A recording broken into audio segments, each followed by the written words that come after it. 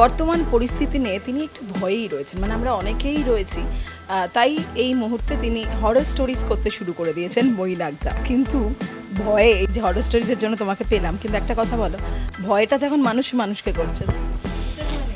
হ্যাঁ না, ভূতের ভয় আর কারণ নেই, মানুষের প্রতি মানুষের একটা অদ্ভুত ভয় এসে গেছে কি আমরা এমন একটা সময়ের মধ্যে দিয়ে যাচ্ছি যেটা খুব খারাপ সময় আছে। তো সেটা যত তাড়াতাড়ি কাটিয়ে উঠতে পারি, ততই আমাদের মনুষ্য জাতির মঙ্গল আর কি। অমঙ্গল এখন ধুয়ে মুছে একাকার। তো এই যে যে অবস্থাটা তৈরি হচ্ছে মৈনাকদা, একটা কথা বলা, আজকে আমরা তোমাকে প্রমোশনে পেলাম, কিন্তু ম্যাক্সিমাম জায়গায় যেটা হচ্ছে প্রমোশনে গিয়ে আমরা অভিনেতা, অভিনেত্রীদের পাচ্ছি না, ঠিক আছে? তাদেরকে দেখতেই পাচ্ছি না কোথাও। একটা এই ইন্ডাস্ট্রিটা আসলে কি কোথাও গিয়ে ক্ষতিগ্রস্ত হচ্ছে বলে তোমার মনে হয়? আমার তো মনে হয় ক্ষতিগ্রস্ত হচ্ছে, তার কারণ সকলের নিজস্ব একটা জায়গা থাকে। আমি কাউকে পলিটিক্স করতে বারণ করছি না।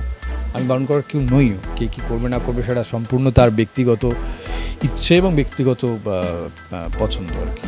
কিন্তু আমার একটা জিনিস কোথাও গিয়ে মনে হয় যে রাজনীতি যারাই করতে যাচ্ছেন হঠাৎ করে কেমন আমার মনে হচ্ছে যে রাত্রিবেলাটা স্বপ্ন দেখলাম আমার প্রচুর মানুষের জন্য কাজ করতে হবে। তার আগের দিন পর্যন্ত মনে ছিল না আর কি। এবং সেই স্বপ্ন পেয়ে তারা হঠাৎ ওই আগে স্বপ্ন পেত না যে মন্দির বানাতে হবে, স্বপ্নে বা ভগবান বলেছেন বা আমার পুজো কর। এরকম কেউ একজন স্বপ্নে আসছেন, হঠাৎ করে বলছেন যে, এই মানুষের জন্য কাজ কর, সকালবেলা উঠে আমি মানুষের জন্য কাজ করতে যাই, মানুষের জন্য কাজ করতে যাই, মানুষের জন্য কাজ করতে যাই দিয়ে কোনো এক, দুটো ফুলের মধ্যে যে কোনো একটা ফুলে গিয়ে দাঁড়িয়ে পড়ছেন, তারা মানুষের জন্য নাই কাজ করতে চাইছে। সেটা খুব মানে খারাপের দিকে যাচ্ছে তার কারণ আমার কোথাও কি মনে হয় রাজনীতিটা একটা সম্পূর্ণ আলাদা বিষয়। তার একটা মূল্যবোধ থাকে, তার একটা আদর্শ থাকে, তার একটা নীতি থাকে এবং সেটা অনেক দিন ধরে প্র্যাকটিস করতে হয়। আজকে যদি আমার হঠাৎ করে মনে হয় আমি কাল থেকে রাজনীতি করব, এটা হতে পারে না। তাহলে আমাকে প্র্যাকটিসটা করতে হবে। মানে আজকে তো কেউ তার অভিনেতাটা একদিনে হয়ে যেতে পারে না। আমাকে প্রত্যেকটা অভিনেতাকে তো সেই প্র্যাকটিসটা করতে হয়েছে। দিনের পর দিন, দিনের পর দিন করে প্র্যাকটিস এক একজন এক এক রকমভাবে প্র্যাকটিস করে। সেই প্র্যাকটিসটা করার পরে একটা জায়গায় গিয়ে বলতে পারে যে হ্যাঁ আমি এতদিন ধরে অভিনয় প্র্যাকটিস করেছি, এবার আমি অভিনেতা। তো আমার মনে হয় রাজনীতিটাও একদম ফুল টাইম দিতে হয় আর কি। এটা, আমার এটা ব্যক্তিগত মতামত, কে কীভাবে নেবেন আমি জানি না। কিন্তু এইভাবে আমি চাইনি যে আমার ইন্ডাস্ট্রির সকলেই আমার কলিগ আর কি বেশিরভাগ মানুষজনের সাথে আমি কাজ করেছি। তো এটা দেখতে খারাপ লাগছে। আচ্ছা, বাইরের রাজনীতির কথা হচ্ছে যেটা সকলেই দেখতে পাচ্ছেন। ভেতরে তো টলিউডের ভেতরে তো প্রচুর রাজনীতি। সেটার নিয়ে কি বলবে তুমি? সেটা সেটা দেখো সেটা তো সব জায়গাতেই থাকে শুধু টলিউড বলে না সেটা তো প্রত্যেক পরিবারের ভেতরে অনেক রকমের রাজনীতি থাকে।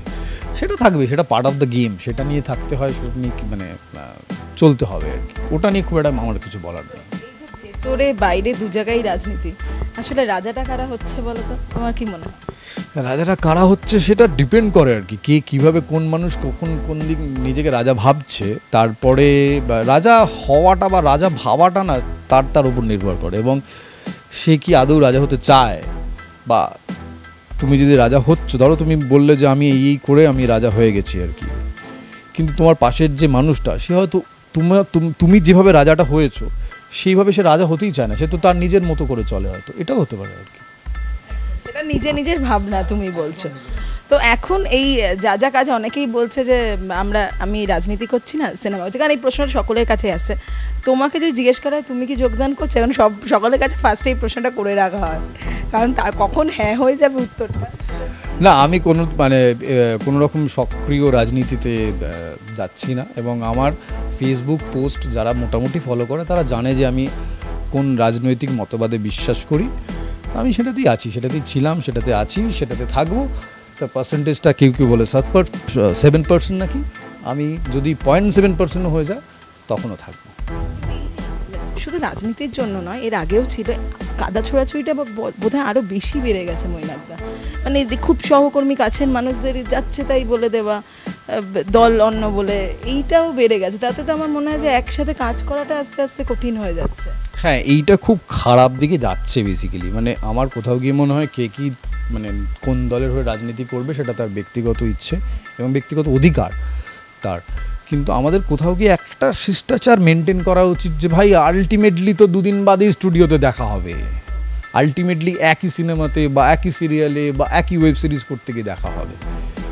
সুতরাং অ্যাটলিস্ট সেই ভদ্রতাটুকু থাকুক নিজেদের মধ্যে এটাই বলব। সেটাই- সেটাই কাম্য মানে সেটা হলে তাহলে যে কোনো রাজনৈতিক দল হতেই পারে। তো এরপর রাজনীতি নিয়ে কথা বলে যেটা কাজ নিয়ে তোমার কাজের জন্যই আজকে দেখা রাজনীতির জন্য তো নয়। তো একটু বলো কি কি কাজ? বাঁচা গেল বল। হ্যাঁ এখন যেটা যে ছবিটার পোস্টার শ্যুট হচ্ছে সেই ছবিটার নাম হচ্ছে ভয়। সায়ন পরিচালনা করেছে। আমার সাথে রূপসা আছে। এবং সেটা মোস্ট প্রবলি ভোটের রেজাল্টের পর রিলিজ হবে। ভোটের রেজাল্টের পর আরও ভয়ঙ্কর জিনিস আসতে চলেছে, মৈনাকদা নিয়ে আসতে চলেছে, সেটা তো পরে। আগে বলো যে এর, এটা ছাড়া আর কি কি কাজ মানে আছে বা সামনে করছ? একটা যারা তোমার সোশ্যাল মিডিয়া দেখে ফলো করে, তারা জানে মোমো টিম টিম সেটা নিয়ে কিছু বলবে মানে ভীষণ মিষ্টি, একটা ভয় ভয় আর চাইছি না। বলছে আমি বেশ কয়েকটা কাজ করেছি, একটা ওয়েব সিরিজ করেছি, নাম হচ্ছে কামন কবে আসবে সেটা জানি না যদিও। একটি ছবি করেছি সীমান্ত বলে। আর একটা এই- একটা ছবি, এই ভয়ে। এবং এটা ছাড়া আর একটা ছবি করেছি যেটা বেসিক্যালি পাঁচটা ছোট ছবি নিয়ে একটা ছবি হচ্ছে। অভিজ্ঞান বলে একটি ছেলে ডিরেক্ট করেছে সেটা। এবং এটা ছাড়া আমরা নিজেরা একটা কাজ করেছি। খুব ছোট্ট একটি কাজ, সেটা কোথায় আসবে, কি আসবে সেটা এখনও ঠিক হয়নি। সেটার দুটো ক্যারেক্টারের না, একটা ক্যারেক্টারের নাম মোমো, একটা ক্যারেক্টারের নাম টিনটিন। খুব মিষ্টি একটা প্রেমের গল্প, এটুকু বলতে পারি। এটা, আর আমার একটা কাজ শুরু হচ্ছে পঁচিশ তারিখ থেকে মানে অলরেডি শুরু হয়ে গেছে, বাবা বেবিও, সেখানে আমি একটি ক্যারেক্টার করছি। হ্যাঁ। এক কাজ কাজের জন্য ফোন আসছে বুঝতে পারছি। কিন্তু রাজনীতি রাজনৈতিক দলের তরফ থেকে ফোন আসছে? মৈনাক না রাজনৈতিক দলের তরফ থেকে ফোন আসলে আসলে জানে মোটামুটি লোকজন যে আমি কোন রাজনৈতিক মতবাদে বিশ্বাস করি। আমাকে আর ঘাঁটায়নি কেউ হয়তো। না একটা কথা বলো তো মানে এটা নিয়ে কি আক্ষেপ আছে? অনেকে কিন্তু বুঝতে দেয় না যে ফোনটা এনে বলে ঠিক আছে তোমার না একদম আক্ষেপ নেই আমি খুব বেঁচে গেছি। আমি মনে মনে ভাবি যে যাক বাবা ফোনটা তো আসেনি। বেঁচে গেলাম। হ্যাঁ ইনফ্যাক্ট এটা নিয়ে একটা খুব মজার ঘটনা বলি আর কি। আমি আর আমার এক বন্ধু রিসেন্টলি পার্ক স্ট্রিটে খেতে গেছি এবং যে রেস্টুরেন্টে গেছি সেখানে স্বস্তিকা ছিল স্বস্তিকা দেখে হ্যাঁ রে কেমন আছিস? কী আছিস? হ্যান ত্যান বলে টলে ফার্স্ট করছি এই তুই কোথাও যোগ দিচ্ছিস না তো? বললাম, না। আমি আপাতত সিনেমাতেই আছি অভিনয় নিয়ে থাকতে আছি বেশ ভালো হ্যাঁ, হেসে খেলে বেঁচে আছি এটাই চাই। বলে যাক তাহলে ঠিক আছে। এখন অভিনয় অভিনয় নিয়ে কম কথা হয় বোধহয় রাজনীতি নিয়ে আগে এটাই প্রশ্ন যে কোথায় যাচ্ছ তুমি? দল তো কি ছবি আসছে দাদা? বাকি সিরিয়াল আসছে? বাকি ওয়েব সিরিজ আসছে? এখন জিজ্ঞেস করে কোন দলে যাচ্ছেন? তোমার উত্তরটা তো আমরা পেয়ে গেছি কিন্তু সোশ্যাল মিডিয়া এখন সবাই সবাইকে সরাসরি ডিরেক্ট অনেক কিছু মানে যার যত আক্রোশ এই মানে বলে দিচ্ছে করে দিচ্ছে কিন্তু এইটা তুমি কীভাবে দেখো বলো তো মৈনাকদা? মানে এই সোশ্যাল মিডিয়া এতটা বলা এতটা হ্যাঁ খারাপ হয়। মানে ধরো আমারই কোনো পোস্ট, পোস্টে হয়তো প্রচুর আননোন লোকজন বিভিন্ন রকম কমেন্ট করে এবং সেটা কমেন্টগুলো খুব মানে খারাপ কমেন্ট করেন আর কি তো আমার কয়েকটা জায়গায় আমার তাদেরকে রিপ্লাই দিতে হয়, বাধ্য হই আর কি রিপ্লাইটা দিতে।